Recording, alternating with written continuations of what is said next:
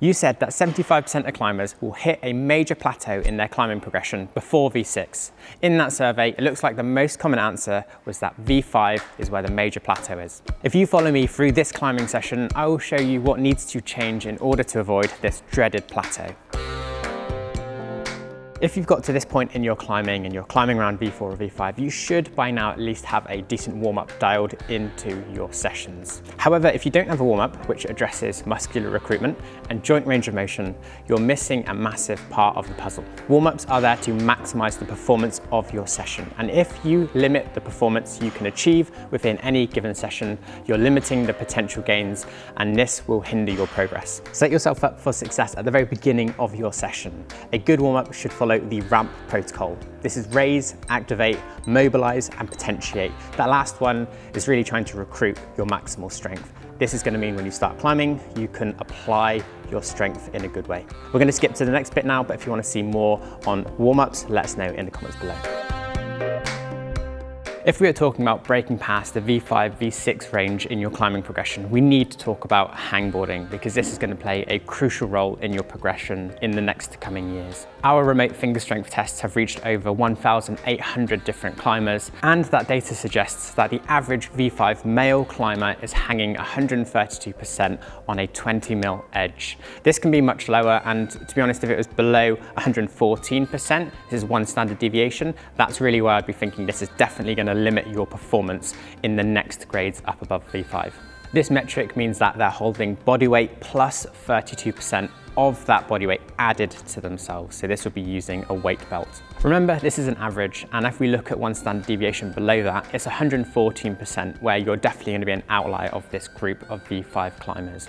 When you're below this, it's certainly gonna be something that you want to focus on improving to push past this boundary in your grades. And for our female data set, this average actually drops by a whole 10%. So we're not seeing as much finger strength required relative to body weight for the female data set. And I suspect the main physical difference between these two different groups in our data is flexibility, with increases in flexibility almost immediately improving how efficiently you can move and the technique options that are available to you. The reason I'm talking about hangboarding before we start climbing is generally this type of training needs to be performed at very high intensity and before you've fatigued your forearms to really see the most benefit. So this means it might go before your climbing session or it might be done maybe six hours before a climbing session or on a separate day. So if hangboarding is going to be be something that's really important to your progression, we'll go through a really simple session now. This session is a max hang session. The intention is to gain maximum strength in my fingers. It doesn't mean the hangs gonna be maximal. I'm actually gonna be looking for a 8 or 9 out of 10 RPE. I never should be failing in these hangs because that's not needed to see good gains in strength. I'm gonna pick a 20 mil edge. I'm gonna be sticking to a half crimp grip for this session. That's the grip I want to be training, but you can choose different grip positions as well. The overall session structure is a five second hang followed by two minutes of rest. And I'm gonna be doing six sets of that at my working weight. So I'm gonna build up to a challenging weight and then maintain that for six sets.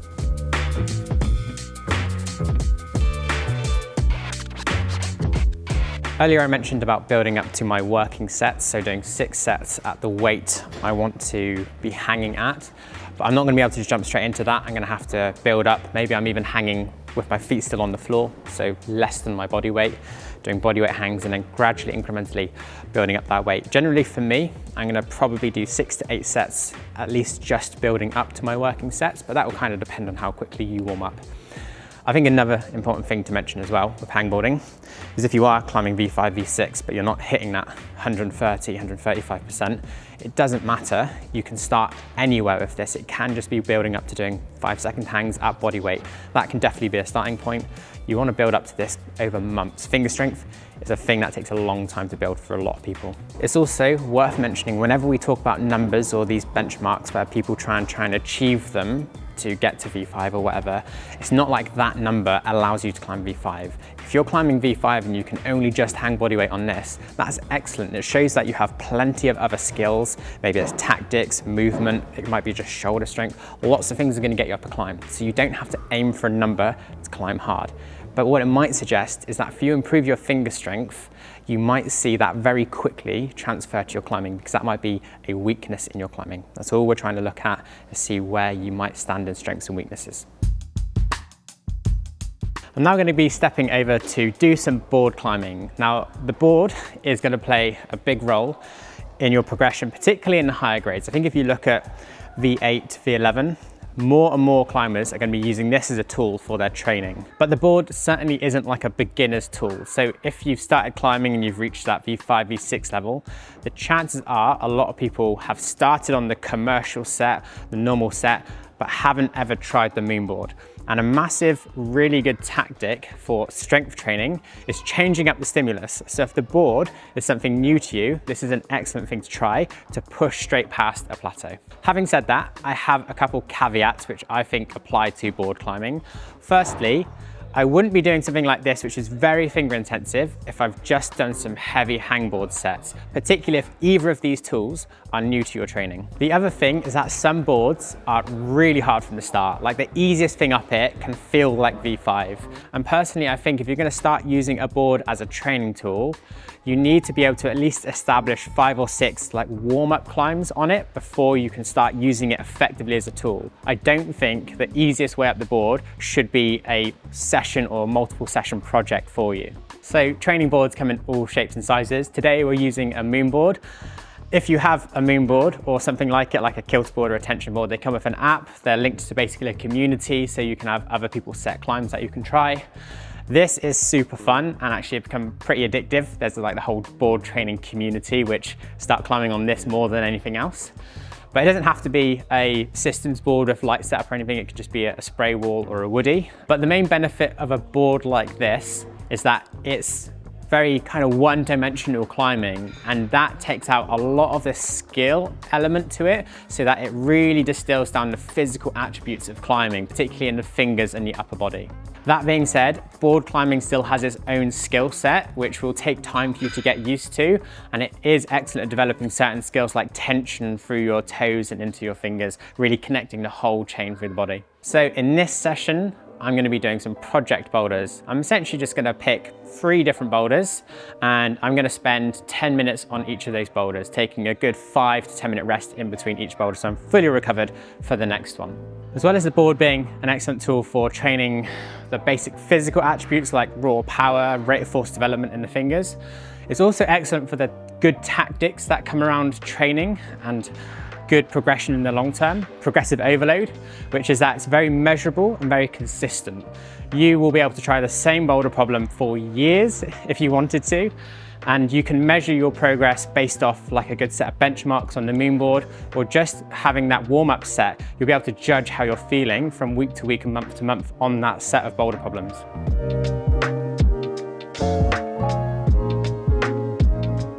Another important tactic when it comes to using a board is you're going to be exposed to small holds and the harder you climb, the smaller the holds get. So a big tactic to pay attention to is using good chalk, which brings me to the sponsor of this video.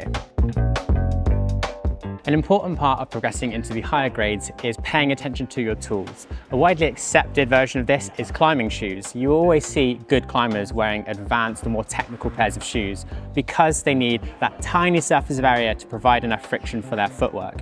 The same is true for good chalk. If you want to climb harder, you're going to have to use smaller holds or worse holds like slopers. So the friction between your fingertips and the wall is one of the most important aspects you can pay attention to when you're looking for good tools to progress your climbing. MagDust is absolutely some of the best chalk I've used, it's some of the best chalk on the market. And if you want to reduce slippage, improve your friction, and also make your skin last longer in your sessions, it's definitely a product you should try out.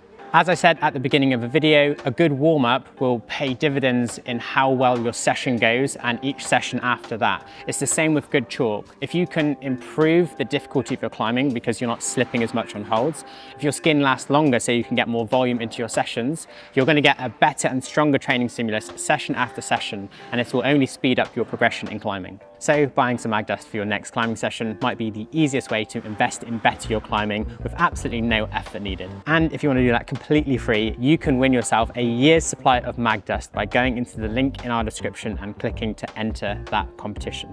And as a final point, if Magnus uses it, it must be good chalk. So go enter the competition. So far we've talked about really good ways to get more intentional intensity into your training, that being the hangboard or something like a moonboard. However, the uncool brother to intensity is training volume. And that is also a really important tactic that we're gonna to want to increase as we try and get better and better at climbing. It's a really important way of progressive overload in our training. And the thing with hangboarding or board climbing, if it's relatively new to you, you're definitely gonna to want to keep the volume of that low. It should be high intensity but low volume. But your climbing still needs to maintain a decent amount of volume. And that's where we're gonna come over to a different part of the climbing wall where our fingers are gonna be a little bit less targeted. We can work a little bit more on skill, more bigger muscle groups in our body. So at this point in my session, my fingers are definitely tired, but my body's still got quite a bit more to give. I definitely wanna do a little bit more climbing for fun, so I'm gonna move over to the commercial set. Just another quick note on the concept of training volume in your climbing. If you think about it, a V5 climber and a V10 climber might both operate at 80, 90% of their max on any given training session. They both can achieve a high relative intensity to their training. But the difference between that V5 and V10 climber often comes in the amount of training volume they do. That V10 climber is probably doing a lot more climbing than the V5 climber. That volume needs to be progressive though. It doesn't happen overnight. The more you train, the more your training tolerance increases, the more well you can recover from your training sessions. So it's a much more holistic approach when we talk about training volume. The session I'm gonna do now we call 5x3 SI or strength intervals. And the concept of this session is we're gonna drop the intensity quite a bit from what we were doing on the board and we're gonna pick five boulder problems and we're gonna do them three times each, resting about two and a half minutes between each one.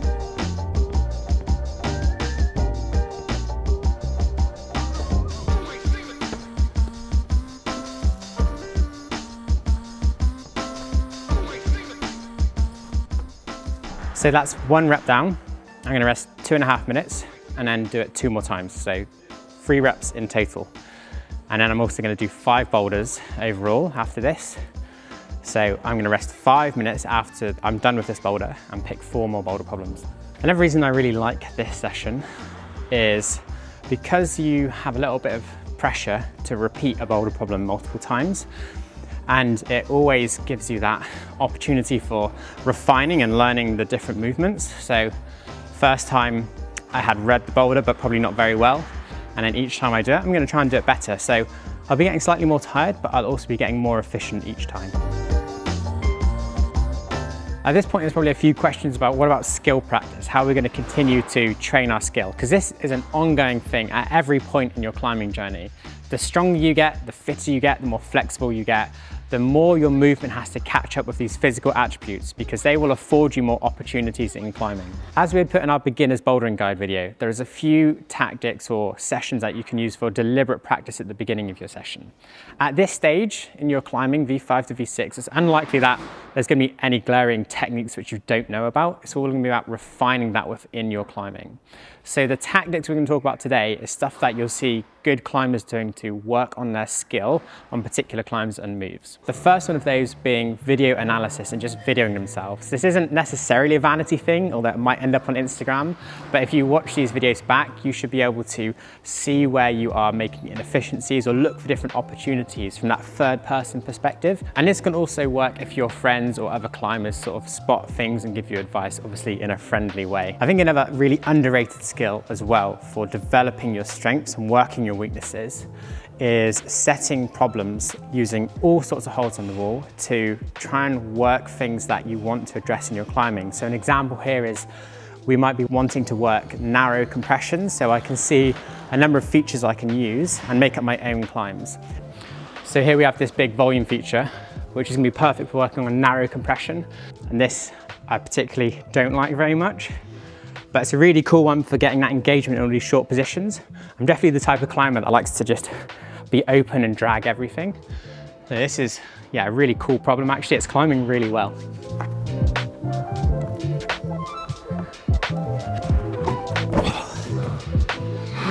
I've just gotta like go really tight on that heel. This also tends to be a habit of really good climbers when they get to a level where you're gonna quickly climb out a circuit in the gym and then it's really hard to break into that next barrier. So, you know, making it into the yellow circuit here or making it into the orange circuit, we can take holds from the previous circuits and set really hard climbs for us, which is also going to address a specific thing. If you've made it to V5, the chances are you've had an injury or at least you've been threatened by an injury. Unfortunately, it's not gonna get any easier as you push yourself more to climb harder. However, luckily the research is pretty clear on the best strategy to mitigate injury risk, and that is by getting stronger.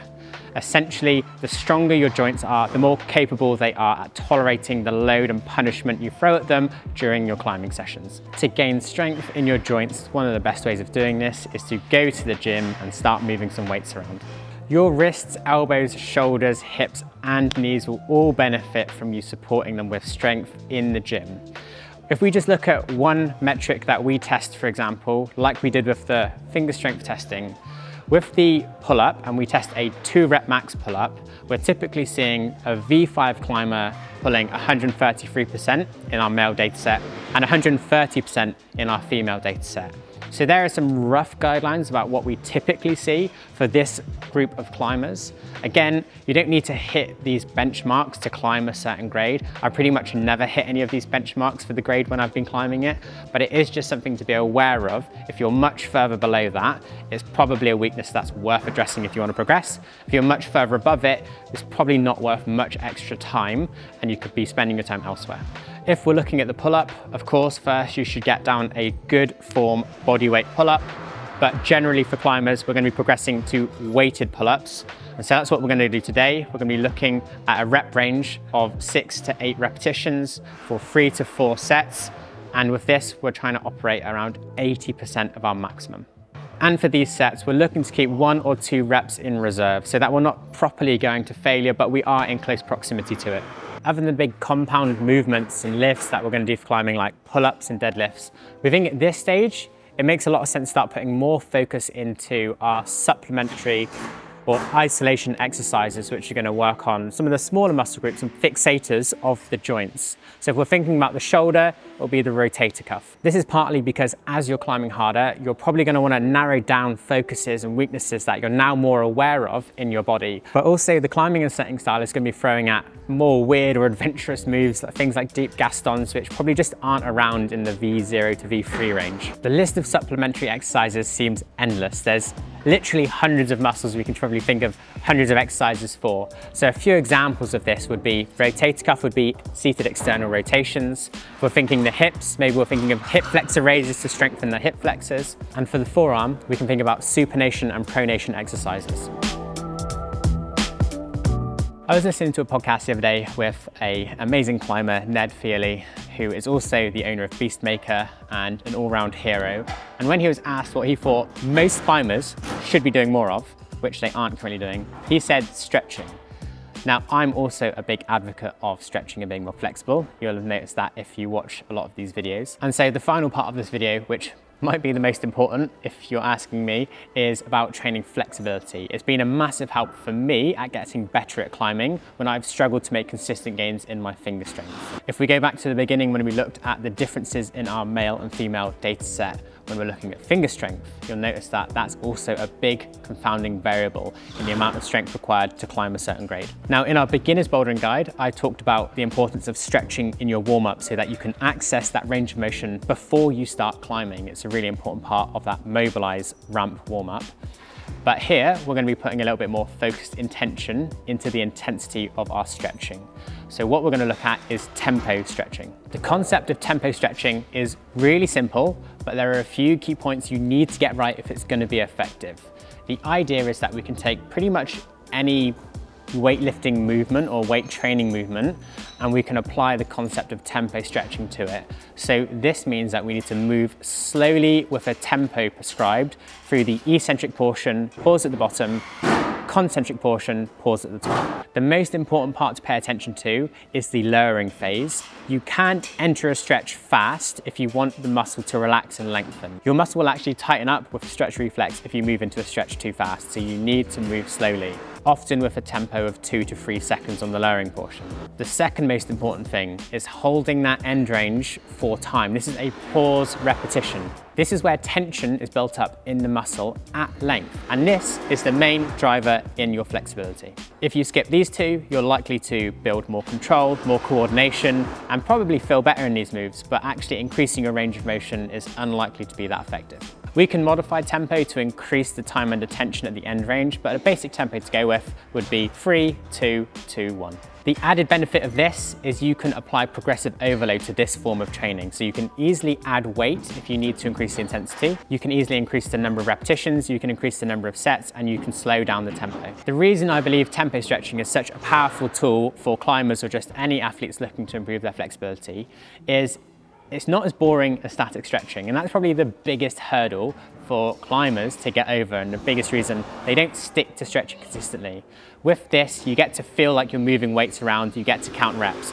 And I've found in my coaching practice that this is a way better tool for climbers to get enjoyment and satisfaction out of. The other reason it's such a powerful tool is to be effective in your stretching, you still need a decent amount of intensity. You need to move into your maximum tolerable limit. So this means the stretch will probably feel a bit uncomfortable. Obviously we don't want to move into pain and you don't want to feel pain around the joints. You're still looking for a stretch in the muscle, but it needs to be a deep stretch. With tempo stretching, you only need to hold that for two or three seconds maximum before coming out for a bit of respite. This means you can maintain the intensity, but increase the reps over time so that you still build up good amount of time and attention at a high intensity. We'll go through a few examples here which use this tempo style of stretching, this being the butterfly or tailor's pose,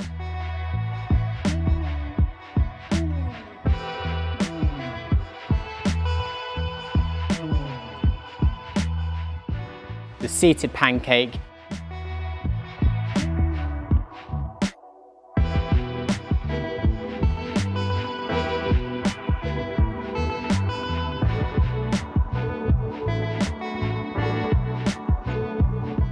and also the revolver stretch to hit our lats and side obliques as well.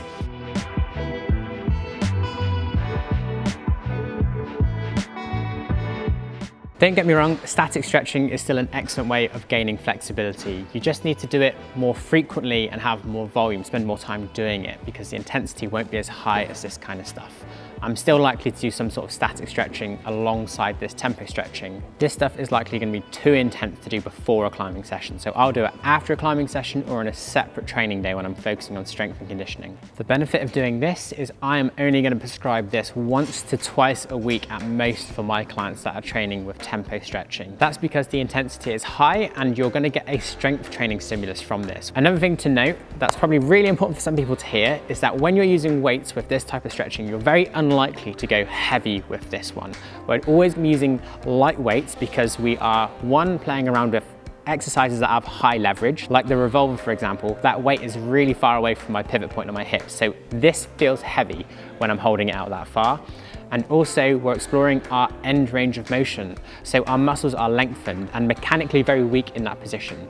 So a small amount of weight goes a long way for these exercises. As you get stronger, you can definitely explore about adding weight into it but we're still only just using enough weight to take us deeper into a stretch than we would otherwise go. If you go too heavy, you're more likely to just plateau and get horrendous DOMs in your muscles because this type of stretching can definitely cause muscle soreness like you would get from any other weight training session. Don't forget to head down to the link in the description below to enter for your chance to win a year's supply of MagDust chalk. That is certainly one of the best ways to break through your plateau in climbing. Thanks for watching, we'll see you next time.